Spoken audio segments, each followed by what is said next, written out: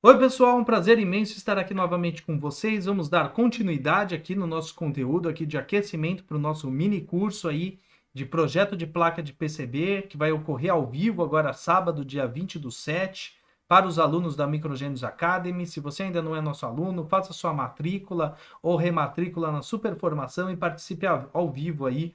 O, o acesso vai ser via Google Meet somente para os nossos alunos aí. Vai ser ao vivo, pode perguntar, né, pode participar. E, e se você ainda não é nosso aluno é, e tem interesse, aí embaixo na descrição aí tem link, está em promoção especial aí nesses últimos dias de julho. Vamos lá, vamos dar continuidade aqui então a esses conceitos importantes aqui sobre placas de circuito impresso. Vamos falar aqui rapidamente sobre camadas internas né, de trilhas essas camadas aí é, são interessantes para placas aí onde a gente tem é, circuitos integrados com muitos terminais, né? Então é possível é, para você, se você tiver um, uma densidade muito grande de trilhas, você pode estar tá, tá passando trilhas por essas camadas intermediárias. É lógico que isso vai ter um custo, também. Isso é, é, sempre importante a gente estar tá ciente que tudo tem seu custo. Mas além disso, é, você trabalhando, se o seu produto, né, o seu projeto, o seu produto, ele não é um, uma questão que está com um custo extremamente apertado, né, vale a pena fazer, né, porque além de, de, de facilitar a questão das conexões, diminuir a densidade de trilhas por face da placa, também é possível de colocar planos específicos de GND, alimentação, melhorar a robustez da placa de circuito impresso. E como eu tinha comentado anteriormente, a quantidade de camadas que você vai estar tá trabalhando, ela vai ter como limite os limites de produção do, da, da empresa que vai fabricar a sua placa de circuito impresso e do seu software. Esses são os limites. Na verdade, é, fora isso, se você quisesse fazer uma placa gigantesca, né, um sanduichão, seria possível tá? Mas é lógico que vai ter sempre restrições construtivas. A gente sempre tem que estar tá, é, atento a isso. E lembrando, se você for iniciante, for começar a fazer placas aí é, com mais de duas faces, utilize vias de passagem, né, as vias passantes. Evite utilizar as vias é, cegas ou vias enterradas, porque senão você precisa detalhar muito bem para o seu fabricante para não houver erro. Senão é grande as chances né, de ter erro. Você vai ter que detalhar muito bem isso que a gente chama de stack de layers para o seu fabricante. Então é grande, muito grande a chance de dar problema. Já aconteceu aqui com a gente, então eu sei que dá problema mesmo tá bom? Uma outra característica interessante, isso é do processo construtivo, geralmente, assim, não é, é, teoricamente seria possível, mas na prática não se costuma é, fazer placas é, com, com mais do que dois layers, né, com, de, com mais de duas camadas aí de trilhas, é, ímpares. Ou você faz, por exemplo, é, é, ou, ou não, só você só vai fazer par, entendeu? Então, ah, eu precisava de mais uma camada, mas você não vai fazer de três, você vai fazer de quatro camadas, tá bom? Então, isso até você até pode pedir para o seu fabricante fazer, mas isso dificulta um pouco o processo construtivo, tá? E, e nas questões de robustez eletromagnética também não seria bom. Seria melhor é, fazer com quatro camadas. Então, na prática, dificilmente você vai fazer, ou praticamente impossivelmente você vai fazer com quantidade ímpar aí de camadas de trilhas, tá bom? A gente já tentou também inventar de fazer três camadas, porque a gente achava que cada camada encarecia o produto. Não, não é bem assim, tá bom? Não é bem assim. Na verdade, é, tudo que sai do escopo de produção normal acaba encarecendo. A mesma coisa desses protótipos aí na China. Vocês já perceberam que se você, em vez de fazer 10, lá, o, o número deles é 10. Se você quiser, em vez de fazer 10, fazer 20, é, mais do que duplica o preço, o preço não fica duplicado, eles mais do que duplicam. Por quê? Porque sai do processo. Sai do processo deles. Então, tudo que sai do processo, tudo que sai do comum, acaba sendo mais caro. E é por isso que a gente tem que estar sempre adequando os nossos projetos aos processos, às regras de, de, de, de fabricação e limitações dos nossos fornecedores, seja o fornecedor de placa de circuito impresso, seja o fornecedor de, de montagem né, da placa em si. Os planos aí de alimentação e VCC, eles são bem interessantes de serem utilizados, mas sempre com, com, com, com é, devidamente né, estudados essas questões né, para você fazer da maneira correta. Não é simplesmente colocar na placa toda, não é bem assim que funciona. E eles são importantes porque eles reduzem a impedância vista pelos componentes, eles facilitam a distribuição dos sinais de alimentação, é, ruídos externos que entrem na placa, se tiver uma área de terra maior, isso significa que provavelmente esses ruídos eles vão mais rapidamente para o terra, então vai evitar que eles trafeguem no, no por, por todo o circuito, se eles encontrarem terras ali mais próximos, ajudam a blindar, então você pode utilizar para blindar certas partes do seu circuito é, melhora a qualidade do sinal, res, re, reduzem também crosstalk entre layers adjacentes, isso principalmente se você utilizar esses planos de VCC e GND é, nas camadas interiores da placa. Tá? Então, tem, tem um, alguns é, projetistas dão uma regra interessante, que sempre que você, digamos, você vai fazer uma placa multilayers, multilayer, é, entre layers adjacentes de trilhas, sempre ter é, os planos de alimentação e VCC para minimizar é, o crosstalk, que seria uma, um, um, um lado, um, uma face da placa, vamos dizer assim, um layer, né? Não vou dizer face, porque face dá a entender aquela parte externa, né? Mas, é, digamos, você tem dois layers adjacentes, né? Um em, em, relação ao outro, e um material isolante aqui no meio. Isso daí acaba virando aí um capacitor, né? Então, dependendo da frequência que você for estar tá trabalhando, você pode um, uma das, um dos layers induzir ruído no outro layer, né? Porque você vai estar tá com, é, é, é, diminuindo aí a, a impedância vista com o aumento da frequência. Então, se você tiver entre esses layers adjacentes de sinal, se você tiver um par de VCC e GND, você minimiza esse efeito, também é uma das questões. A ortogonalidade de trilhas, né, até trilhas serem ortogonais, é, é, ortogonalidade seria perpendicular, vamos dizer assim, né? Ter ângulo de 90 graus entre um e outro, mas não é perpendicular, porque perpendicular seria no mesmo, no mesmo plano, né? Como a gente está falando de planos diferentes, a gente chama de ortogonal. Então, sendo ortogonal, as trilhas entre os layers adjacentes também minimiza esse tipo de efeito.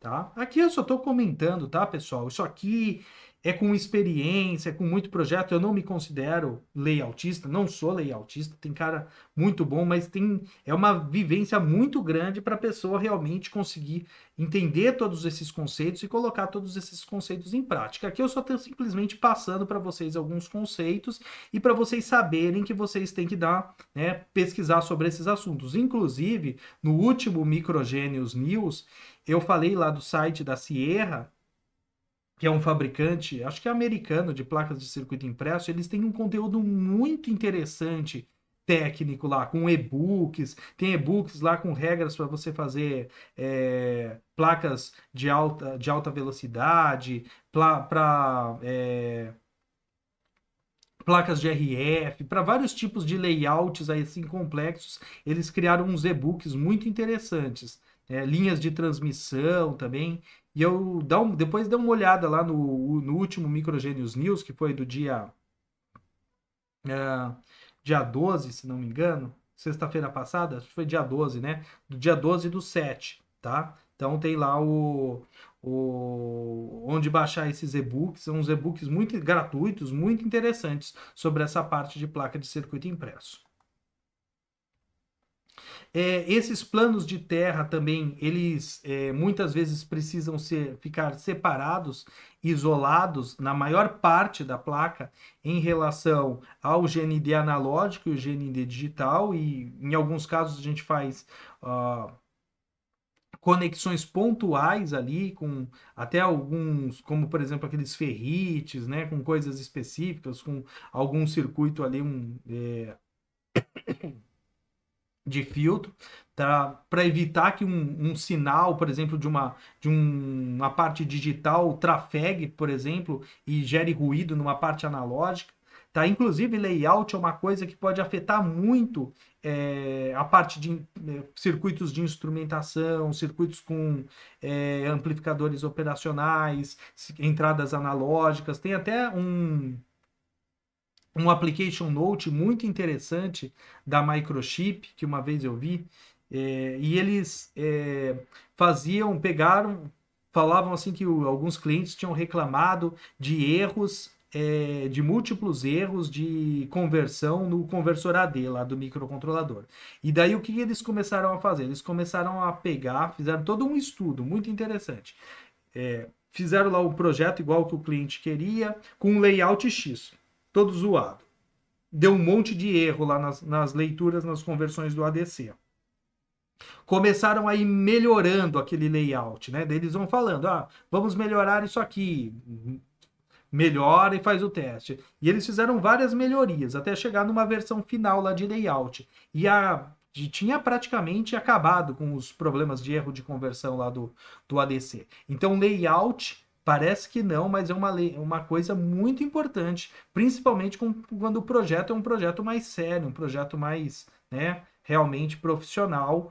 É, e é justamente por isso que fala: ah, mas eu posso pegar a minha placa Arduino, minha placa isso, minha placa aquilo e colocar diretamente no meu produto. Não é o ideal, justamente por todas essas questões, porque por realmente tem que ser bem pensado o ambiente que vai estar tá trabalhando aquela placa, de diversas outras características têm que ser pensadas para realmente gerar um, uma placa, um produto confiável para se colocar no mercado.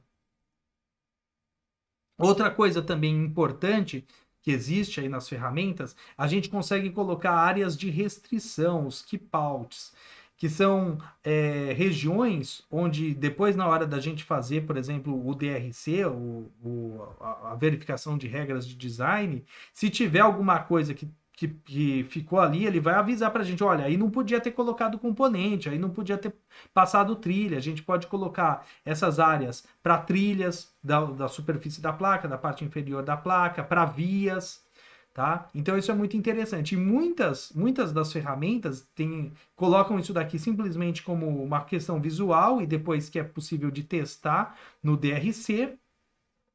Mas também existe a possibilidade em algumas ferramentas de desenvolvimento disso daqui já trabalhar de forma interativa. Então, se você está traçando o, as trilhas da sua placa, né, fazendo o, o, que a gente chama de roteamento, se você tentar passar uma trilha por uma área de restrição, ele já não vai nem deixar, não vai passar a sua trilha, ou ele já vai mostrar uma indicação de erro para você. É bem interessante. É o DRC interativo, né, que muitos, muitas ferramentas de projeto de placa de circuito impresso têm.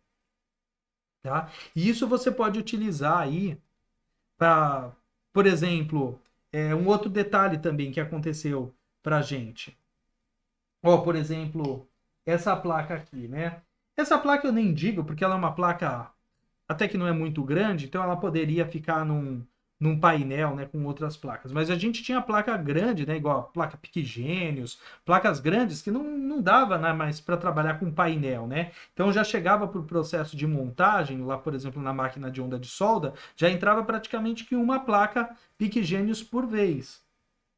Só que a gente não, como a gente fazia primeiro montagem interna, a gente não, nunca tinha pensado em produzir externo. Quando a gente começou a produzir fazer o, o, processo de montagem externo, a gente teve que rever conceitos, por exemplo, de bordas de placa, que era o local para colocar o, o encaixe do pallet, né, para passar pela máquina de onda de solda. E além disso, questões mecânicas mesmo, né, de então aqui é a máquina de onda de solda, né? Tem uns paletezinhos, parece um carrinho que vai passando por aqui. Ele precisa de um espaço para você conseguir fixar a placa direitinho, né? Então precisa ter uma região ali de borda no seu circuito. É interessante que essa região de borda ali também não passe trilha por ali para não acontecer nenhum problema. Então você pode colocar uma região de keep out ali. É, outras coisas que você pode utilizar aqui, Paut, é na questão do, do processo de montagem, né? De montagem mecânica. Então, se você sabe que vai ter uma, uma certa parte ali do seu equipamento, da sua carcaça, que é mais baixa, não dá para ter componente ali naquela região, coisas desse tipo. E é por isso que é, um projeto, realmente, falar de um projeto, de um produto, é algo muito maior do que simplesmente fazer uma plaquinha e funcionar, né? Isso daí muitas vezes é interessante para gente, como coisa caseira, mas realmente, se isso for virar alguma coisa é, realmente profissional, uma coisa comercial, vai ter um monte. Vocês já estão vendo aqui várias questões que precisam ser pensadas, questões de montagem, de como que vai ser o encaixe, e como que vai ser todo o processo de produção, de fabricação, se está dentro das características de fabricação, de produção dos seus fornecedores. Isso que a gente nem mencionou aqui questões de normas, né? Do ambiente que esse tipo de, de equipamento vai trabalhar, se precisa ter uma norma X, Y, Z, tá? Então, um projeto eletrônico, ele é muito mais do que simplesmente a gente fazer ali uma plaquinha. É claro, para hobby, para uso pessoal é interessante. Mas se, se, vocês já estão pensando em usar isso dentro da empresa, já usam, né? Dentro da empresa, provavelmente já tem todo um, uma, um manual de regras de design aí dentro da empresa. Se você está pensando em tornar aí o, o, seu equipamento um produto comercial, você tem que pensar nisso, porque isso vai te ajudar, mas vai me ajudar por quê? Vai reduzir seus custos entendeu? Vai reduzir custo. E redução de custo é maior margem, é ou você conseguir concorrer no mercado, que a gente sabe que hoje em dia o mercado é extremamente concorrido, ou então, digamos, você conseguiu ter uma, um milagre aí de você trabalhar num, num mercado que não tem concorrência, você vai estar aumentando a sua margem de ganho. Tá? Então, tudo isso é muito importante, e é muito importante mesmo. Uh, e todas essas características aqui, existem alguns conceitos aí que o pessoal hoje em dia tem falado bastante, que é os conceitos de DFM e DFA. DFM é Design for Manufacturing, né, projetar pensando já na fabricação, pensando nas questões de facilitar o processo de fabricação, e o, DF, o DFM, né, e o DFA, o Design for Assembly, pensando já na questão de montagem. Aqui, na placa de circuito impresso, eu vou. É lógico que esses conceitos eles não são específicos para a parte de, de projeto eletrônico, né? Mas aqui na parte de circuito impresso eu vou, com, eu vou falar uma conven, convencionar com vocês o seguinte: o DFM seria mais, é, o, mais é, as características quando a gente vai pensar em fabricar nossa placa de circuito impresso e o DFA na parte da montagem da placa de circuito impresso tá bom? Então, isso daqui é essencial, tá, pessoal? Isso daqui é, é bem importante hoje em dia tá pensando, tá pensando nisso. Inclusive,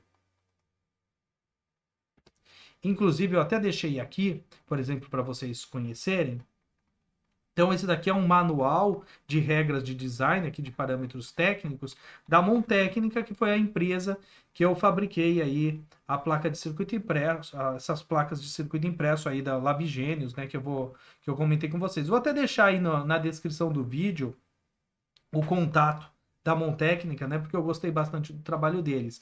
E olha que interessante, eles têm um manual explicando aqui todos os detalhes é, de, de de, de limites construtivos deles para vocês estarem utilizando no projeto de vocês. Então não adianta querer fazer alguma coisa que está com limite é, ultrapassando os limites produtivos do seu fabricante. Não adianta.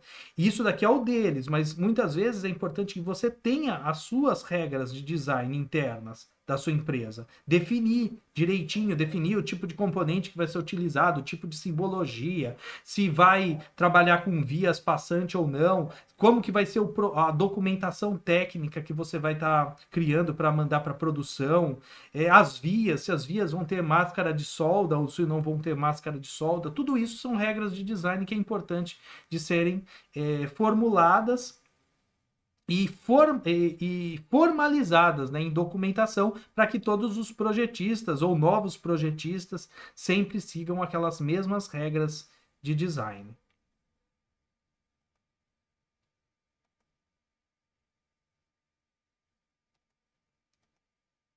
Então aqui que é, ó, ó, as placas, né? Placa face simples, placa dupla face, placa multicamadas, multilayer. É, eu já mostrei para vocês, né? Então, algumas aquela vermelha grande lá, que era o XBNet, era uma placa é, multicamada, né? Essa daqui é dupla face. Hoje em dia, né, esses protótipos aí da China estão tão barato que nem é, vale a pena mais fazer placa face simples, né? Essa daqui era multilayer, tá? Essa daqui era uma placa multilayer.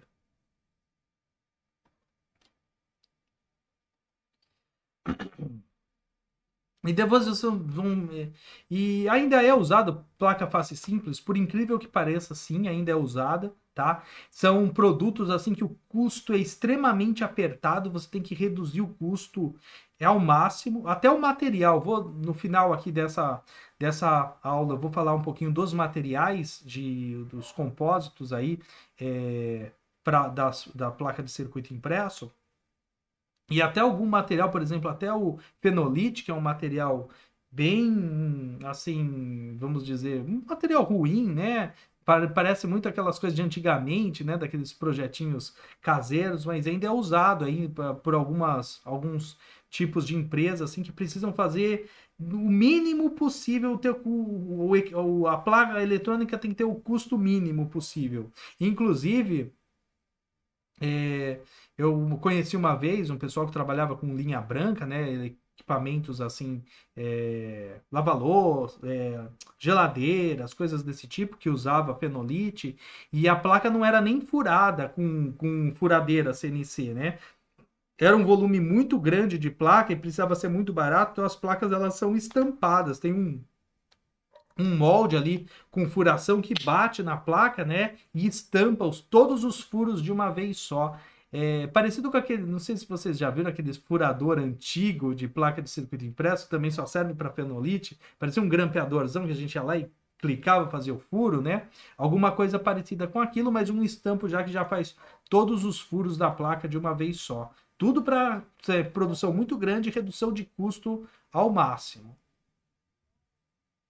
Então, aqui um resumo da nomenclatura. Então, top, né, as trilhas da parte de cima da placa. A cor, gente, não se, não se, não se apegue a cores, tá bom? Cada ferramenta de desenvolvimento vai ter uma cor difer diferente, mas as nomenclaturas geralmente são as mesmas. O bottom, a parte inferior, o silk screen da placa, aqui é de azulzinho, tá? Os pads aqui de roxo, tá bom? As máscaras de solda aparecem apenas quando são habilitadas. Então, por aqui, na verdade, aqui em cima do pad tem a máscara de solda, né? Para deixar a parte metalizada, para não deixar que o verniz é, no processo produtivo vai ser usado para o verniz não ser aplicado em cima, aqui, tá? E, mas geralmente a gente não consegue visualizar aqui esse layer, tá bom? A gente consegue visualizar aqui no arquivo de Gerber, eu vou mostrar para vocês. Então, o que, que é o arquivo de Gerber? Os arquivos de industrialização são geralmente de dois tipos. São os arquivos de plotagem, arquivos de Gerber, que a gente vai gerar com eles um fotolito de alta resolução, e os arquivos de furação, arquivos do tipo de um arquivo CNC, né? Tipo é, aqueles. Acho que era G-Code que o pessoal fala de de fazer aquelas fresadoras, né? alguma coisa parecida com aquilo. Onde vai ter posição, diâmetro da broca, velocidade da broca, coisas desse tipo. Então aqui os arquivos de Gerber, então são arquivos padronizados, tem um padrão específico para você conseguir fazer a plotagem, né, do, dos, do, dos fotolitos. Para quem nunca viu, para quem nunca viu, aqui alguns fotolitos, ó. Então essa daqui é a máscara de solda, tá? Esse daqui, ó, T-stop era a máscara do top, né? Para proteger as metalizações aí dos furos da parte superior da placa, da, da, face, da face superior da placa. Aqui também é um outro tipo, olha, de máscara, pode ser no negativo, depende aí do seu fabricante, se ele vai usar positivo, negativo, depende.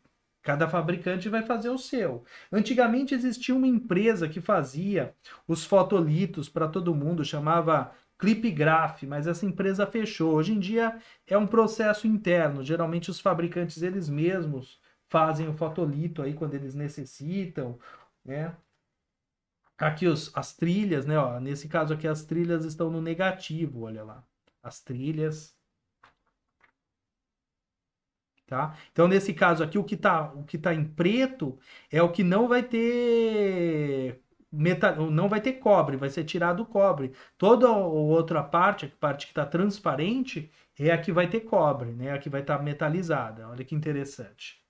Então, isso daqui são os fotolitos. Para quem nunca viu, isso daqui, esse jogo, os fotos e os Gerbers, eles são utilizados justamente para isso, para a gente gerar esses fotolitos aqui para nossa placa de circuito impresso. Aqui também um, um pedacinho do arquivo de furação, do arquivo é, de drill de furação, abrir lá no TXT mesmo, é um arquivo que, que é possível de ser aberto lá no, no TXT, e tem informações aí é, necessárias aí para realizar o processo aí de, de furação, tá? Posição, diâmetro de bloca e assim por diante. E é lógico, isso aqui não é bem assim, né? Geralmente isso aqui é artesanal, uma... mas geralmente as furadoras, as máquinas têm máquinas bem maiores do que essa.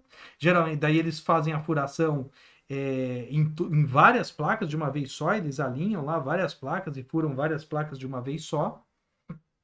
E também tem umas máquinas com várias cabeças de furação, né? Máquinas grandes com várias com várias dessas cabeças aí que fazem várias fura... várias placas aí é, ao mesmo tempo. Né? Hoje em dia é muito automatizado né, esses processos. Aqui um pouquinho da questão dos materiais utilizados aí, os, os compósitos, né? Os materiais, com, com o, o material condutor utilizado é o cobre, tá bom? é o cobre. Geralmente a espessura da camada desse, do cobre é de uma onça, ou seja, 30, ou 35 micrometros. O micro é o metro dividido por um milhão, tá, pessoal? Então a, a camada de cobre ela é extremamente fina, tá bom? Então geralmente esse é o padrão. Se você quiser alguma coisa diferente disso, você tem que falar para o seu fabricante, tá bom? Esse é o padrão.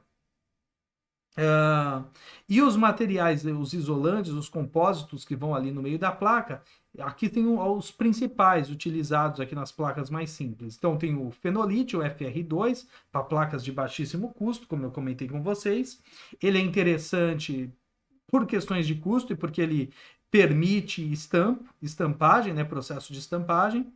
Tem o material fibra de vidro, que é um material melhor, um isolante melhor, tem melhores características com relação até à questão de umidade, né? O fenolite ele estufava tudo com a umidade, né? Então o, a fibra de vidro é melhor. E ela só que ela precisa ser perfurada, né? Ela precisa de furação. Não, não dá para fazer aquele processo de estampagem com a fibra de vidro. Mas ela melhora, inclusive, as questões mesmo de, de robustez da placa de circuito impresso, ela é bem melhor, as características aí elétricas dela é, para placa são bem melhores do que do fenolite. Tem o Teflon para placas aí de alta frequência e também hoje em dia é muito comum a gente ouvir falar do core metálico, né? Então, são placas que têm camada interna metalizada para dissipar calor. Estão sendo muito utilizadas para projetos com LEDs, né, com esses LEDs de iluminação que precisam dissipar calor na própria placa de circuito impresso. Estão sendo muito utilizados esse tipo de placa aí com core metálico, tá? Inclusive, os fabricantes aqui do Brasil também fazem, né, o a própria Montécnica, ela faz placas aí core metálico para esse tipo de aplicação aí que a gente comentou. E aqui, por último, um, algumas das etapas né, aí do processo aí de, de produção de uma placa de circuito impresso. Então vai ter o corte inicial da placa, né? Vão cortar lá o, o painel inicial da placa, não necessariamente cortar todas as placas, tá? Mas fazer o corte inicial, porque a chapa, o isolante é uma chapa bem grande e depois eles, na verdade, nem sempre a chapa já vem com o cobre. Muitas vezes tem, tem chapa que já vem com o cobre, né? Mas tem muitas vezes chapas que você compra né, em empresas, inclusive essas empresas que fazem compósito, são as mesmas empresas que fazem aqueles materiais laminar, laminados assim para parte de decoração, né, para cozinhas. É, eu, sei, eu, eu vi isso porque a minha mãe é da área assim de, de marcenaria, já teve marcenaria, e ela comprava aqueles materiais, né? É... É, e ela falava aquelas marcas, Perstop, é, e depois quando eu fui pesquisar sobre os materiais compósitos, eu vi que eles são os mesmos fabricantes. Então tem um fabricante que só faz esse tipo de coisa, e, e tem, tem rolos assim com o material de cobre, onde é feita a, a, a deposição por cima de, do material compósito, né? Então, digamos que já passou dessa etapa, né? Digamos que já passou dessa etapa. Então já está lá a placa com o cobre, Daí tem o corte inicial lá, para daquele, daquela parte ali dos painéis para a sua fabricação. Depois vem a furação CNC. Depois vem a metalização dos furos. Lembrando que eu não estou falando aqui de todas as etapas, eu estou simplificando aqui. Vou até tirar minha cara aqui veio a metalização dos furos, depois vinha o processo de transferência fotográfica, né? Então, que aqueles fotolitos eles vão, é, vão ser utilizados para passar por um processo fotoquímico a placa, né? E, e passar aquele desenho do fotolito para a placa, então essa transferência fotográfica. Eles utilizam aquele filme, é, é, filme gráfico, né? Aquele filme fotográfico Dry, é, Dry Film, né? Se não me engano é esse o nome. Então, inclusive aqui é, a placa tá verde aqui, né? Isso daqui não é o verniz da placa, tá? Isso daqui é o filme fotossensível que foi aplicado aqui sobre a placa. Ainda, ainda vai ser feito né, a, transferência aqui do, da imagem e depois vai ser feita a revelação. Vai para uma luz ultravioleta onde é feita a revelação e daí fica uma parte aderida, outra parte sem a aderência, né, do material e com isso é pro, é, pode ir para o processo de corrosão, tá bom? Então, depois vem a parte da máscara anti-solda para você aplicar o verniz, a serigrafia do componente, o acabamento de superfície, esse acabamento de, de superfície, que é esse aqui, aqui é a serigrafia, tá? Aqui é a, a, a, cura do verniz, essa parte aqui é a cura do verniz, ele passa também por uma esteira com ultravioleta para curar o verniz, depois de já ter feito processo de corrosão, tudo certinho. Engraçado que eu não, não sabia disso, eu estava pesquisando, né? inclusive, para quem quiser ver mais, é, pode acessar aqui, ó, é, techci.com.br. Vou até mostrar aqui para vocês.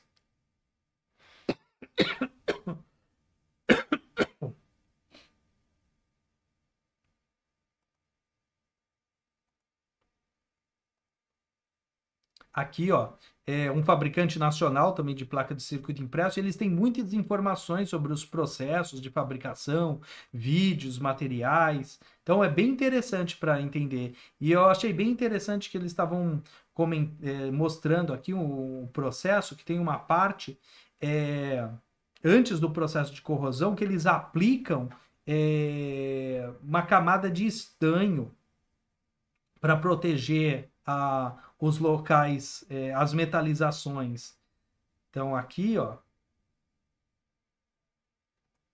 aqui nesse caso aqui, é, é, foi aplicado um, vai ser aplicado aqui um, um estanho aqui para proteger antes do, no, na hora do processo lá de corrosão e depois deixar só essas, só essas partes aqui metalizadas. Não é simplesmente o filme a, a proteção. Achei bem interessante. Não sei se todos os fabricantes fazem dessa forma, tá? É, é, eu não, não. Por isso eu estou falando. Aqui é, eu estou mostrando de forma simplificada aqui para vocês o processo para vocês terem uma ideia. E o, acabe, o acabamento de superfície é o que a gente chama lá de hot air, né? Que é aquela aplicação de de estanho também bem quente, com, com ar quente, soprando ar quente para dar aquele, aquela, aquele acabamento, ficar brilhante, né? A placa de circuito impresso, a, a parte metalizada.